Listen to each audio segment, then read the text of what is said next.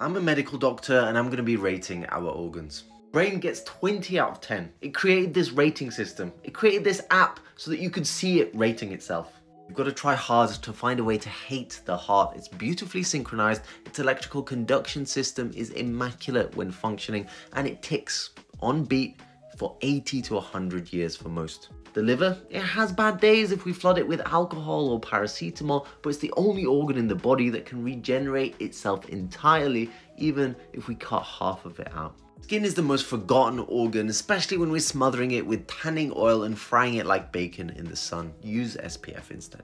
Lungs are a bit like our egos, delicate, easily damaged, and if you spread out their surface area, it would be the size of a tennis court. Then there's the prostate, clearly not designed for an 80 year lifespan and is kind of like your angry aunt at a barbecue who won't let you pass urine until you acknowledge it. Then there's the appendix whose existence is hanging on by a thread, giving itself some vague function like immune regulation while just casually trying to end us.